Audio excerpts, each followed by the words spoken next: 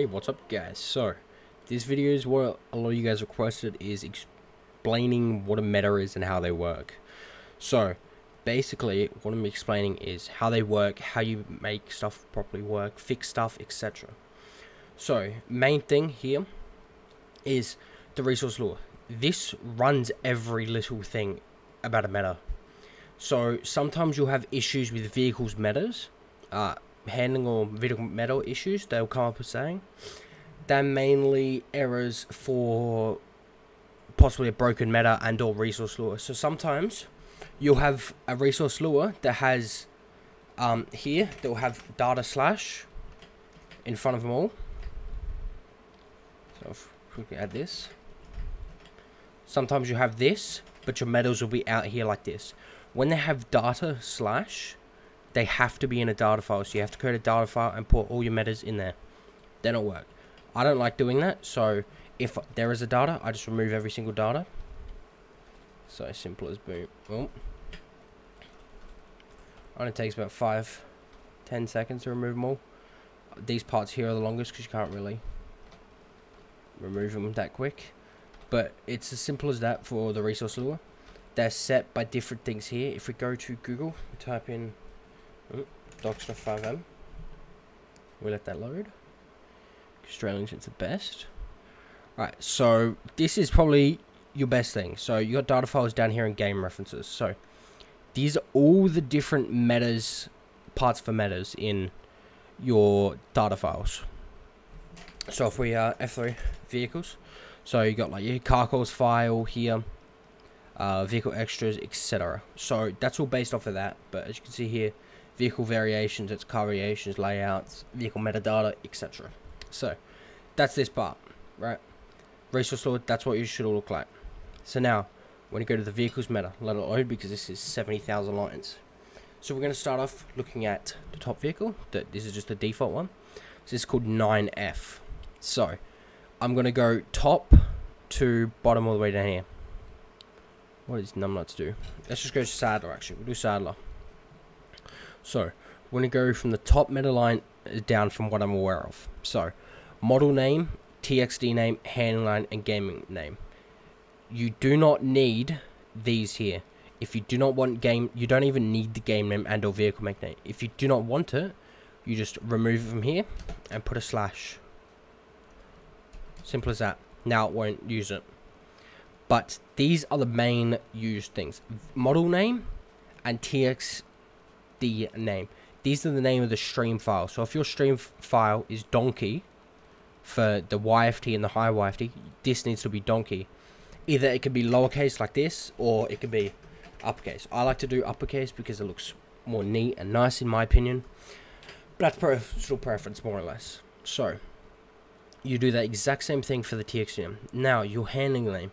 This is going to be, you can set this to a default GTA 5 vehicle. So say, I want my Sadler to handle like a buffalo. Then you can send it to buffalo. Simple as that. But custom handling lines I'll get to in another video if someone does want me to do that. But an explanation of this is more or less what way your vehicle handles. So default vehicles are more or less the best. There's this post here. Let me grab it quickly so I can bring it up. Um,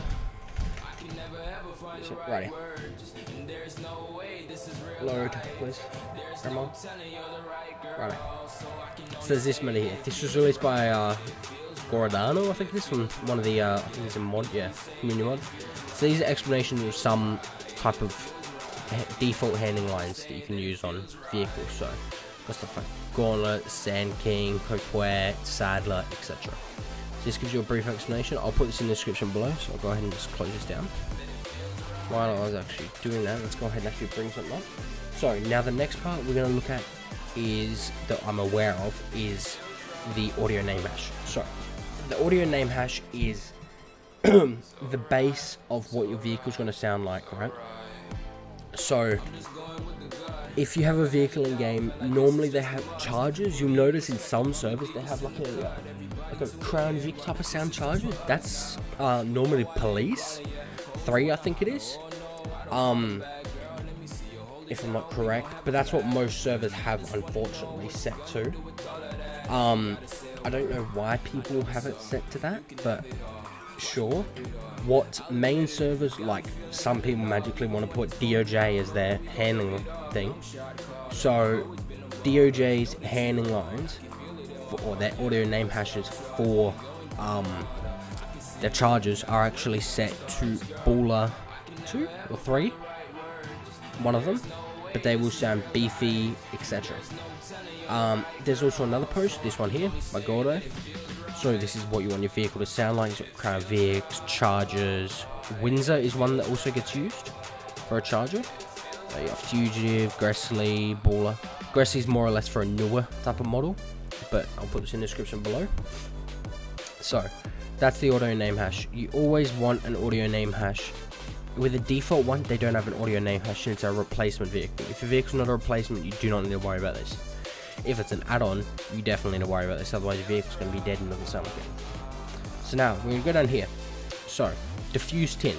This is the window tint spawn, right?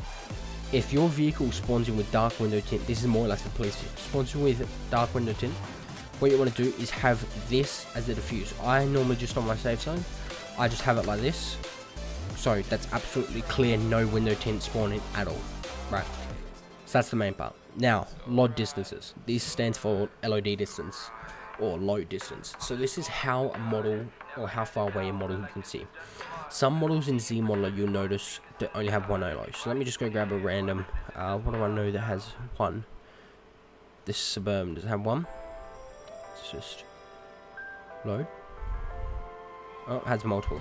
But normal thing would be they'd have yeah, so multiple LOs as you can see. Some are multiple, some has just one. So if it just has just one, you'd normally want it to do 100, 200, 300, 400, 500, 500. But uh, you don't really need to do that if they have multiple LOs. But I just do it for the safe side. That's that part basically. So flags. There's a lot of flags out there. There's more set things for like off-road vehicle. I'm not I'm not 100% sure what most of these flags do. They're kind of stupid. But attaching trailers on highway, etc.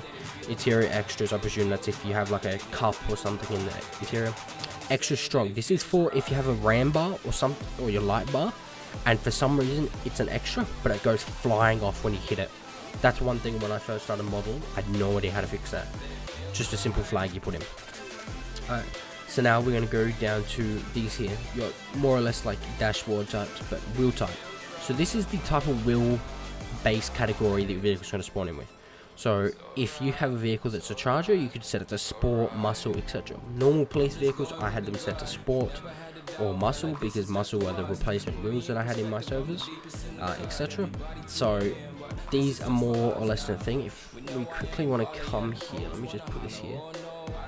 Right, I'm going to leave this in the description. This is a, big explanation of the vehicle's meta. So if you actually scroll down, right here. So these are the vehicle classes. You got your wheel type. So you got sport, muscle, off-road, tuner, etc. So I'll leave that in the description below as well. Um, yeah. So trailers. These are the trailers. Trailers in addition. These are the trailers that are gonna be able to attach to your truck if you have a truck. Sadler has a tow hitch or tow bar, whatever you call it, depends what country you're from. So this is what you'd set to. So normally you'd put to a replacement uh, replacement trailer, but if you have an add-on that's called potato head, you could set it as potato head and it'll still work.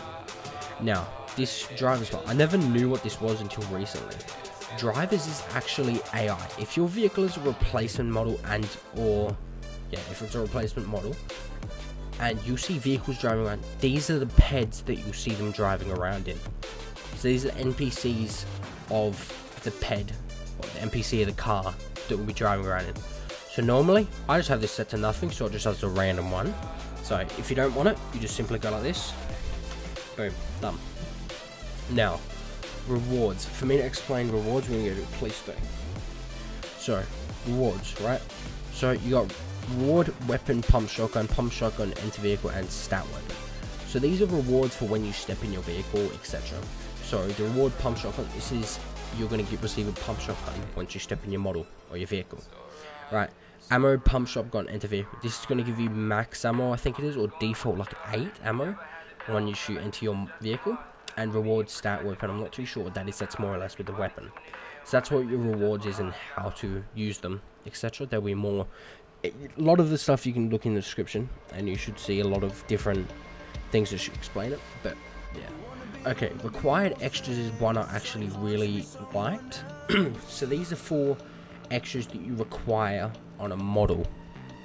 So it's sometimes GTA 5 likes to spawn in with different extras. This is what you can make a vehicle have a requirement of that extra. So if you have a light buzz extra 5, you can put in here extra 5 and that will be the base one. So you would do it like any other one. So you just go ahead and go like this and say we want extra underscore 1. Simple. Right. Backspace this. Great. It's set up. We want extra 5. You just set it there. Extra 5, extra 9, etc. Just put a space. Simple as that. So this is now 100% going to spawn in with those extras. Right. Make sure you put this here. Otherwise it won't work. This is what yours should look like. If you have just one extra, that's what yours should look like. Just a different number, I presume. So that's basically vehicles meta explanation. So, now we're going to go to the one part of car variations. If it wants to load. Right, so, liveries I've not really tested per se yet, but we'll start from the top. So, model name, same as stated in the vehicles meta. If your vehicle has, or your spawn your vehicle is donkey, etc., you say it like this, can be lowercase or capital, it's your opinion. So, these indie, or indecisives and colors, this is what color your vehicle is going to spawn in with. So if you have a vehicle that is a transparent skin, um, yeah, if you have a transparent skin for your models, you can have this set to certain color IDs. I'm trying to find where it is on my other monitor, but there's set colors you can have for pink, blue, whatever. There's like hundreds of IDs for all the different colors in game. That's absolutely great. Um, let me see if I can find it. But if I find it, I'll put it in the description below. If not, I'll put up a message on the screen or my uh, annoying editor who will. And yes, but there will be set IDs, numbers you can set to. Uh, I'm not too sure what's the difference between the numbers. I think it's like these two. So I think this is the main paint. And then this is the secondary paint. So first and secondary. And I think one of these is wheels, more or less. So it's kind of iffy. You can do it for the same for this one. Let me scroll down a bit. A lot, come on. Oh, a lot, yep, a lot. We're still going. right here So, these kits. So, say you have a police car in your game that is rolling around with spoilers. You can put spoilers, uh, side stuff. This is how you will change it. This is the mod kit. So, uh, we're gonna go to police. Right. Um. Right. This mod kit here this is the mod kit you want to be zero underscore default underscore mod kit. So if you have a police vehicle or civilian vehicle, you do not want having anything along the lines of um, side skirts, bumper uh, accessories, etc. You'd set this here to that. If you do not want them to be able to change the wheels or anything along the lines, all you do is you copy here, or you don't copy, you just select it, go backspace, boom. Now it's set up to where they can't do anything. I've not really used anything here um, okay, the light settings, you do not want to touch these unless you are modeling a vehicle and or doing carcols. So, you've got the siren setting. This is your siren settings for the way that your model lights work. So these, if you have a custom model that was made recently, 2016 and above, I think it is when carcols was released. But this is where you would set it to. Just don't worry about this if you're on a modeler. But if you are, just set your ID here the exact same as carcols. So, that's car variations, very simple to do. Now the wonderful carcols. We're gonna let uh, Great Grandma. So that just skins in that. We'll go to place. So this is a car call ID for your main mods. So what we've got, right? This is the ID. So this is the name that would be the siren setting in the car variation. This is what you set that to. So you'd have this as 50, 60, something or other. Make sure it's above, I think it's like 30. Otherwise it will not work properly. So the name, this can be whatever you want. If you want it to be Chipmunk, Alvin, anything from Alvin Chipmunks, you can set it to Alvin, Bacon, Chips, anything along the lines of that. It doesn't really matter, it's not a necessity. So lights fall off max and the fall off exponent, exponents. These are how ambient your vehicle is going to be. If you want your vehicle to have a decent amount of ambience, I normally have mine about 125 it's good. It's a great amount in my opinion. so now sequence of BPM. This is how fast your lights are gonna flash. So most vehicles that are good out there are more more likely set to about 700, maybe to a thousand. It depends. So that's where this goes. These here, these are wigwags. If you see a model with the front white headlights or something flashing, this is how they're set to. So you can use these two here. If I want the headlights to flash, I just copy this to here. And simple. This is what it would look like, right? now, the sirens. These rotations here, this is for rotating lights from one wire. But the flashiness is what we're going to quickly look at. So, Delta, this is how your light gets rotated. So, for ambience in uh, GTA 5 non-ELS, is say you want rear lighting. You would want to rotate your mesh 180 so it's facing the front. Then in your carcols, you'd set the delta to a set part and it'll rotate at 180. Again, Alright, start is just how, say, you have a light that you want to start midway through the other pattern, etc. That's how you'd set that up. Speed, I haven't really done it. Sequences. So this is light patterns. I'm still learning and trying to understand sequences. They're very confusing um, to get a hang of, but once you do, you'll be good. So that's more or less I'll leave out.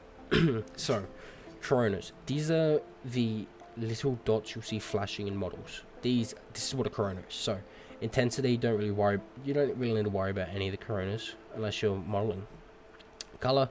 Uh, if you watch my previous model um, video on how to change light colors, this is what you'd be using. So this is just the ambient color lighting and or the dummy or the uh, corona. That's what this color would be. Um, don't really worry about anything else, but that's the main part of metas. So handling lines, I'll go over maybe another video. I'll go ahead and leave this in the description if you guys really want to understand. This is a whole explanation of handling lines, what it does, etc. But um, yes, that's the metas. That's how they're set up, etc. So if you guys have any questions, make sure to join my Discord. It's in the description below. How to comment them, your choice. But uh, I hope you guys enjoyed. Make sure you hit that like button and subscribe. If you don't, I'm going to shoot you. Enjoy.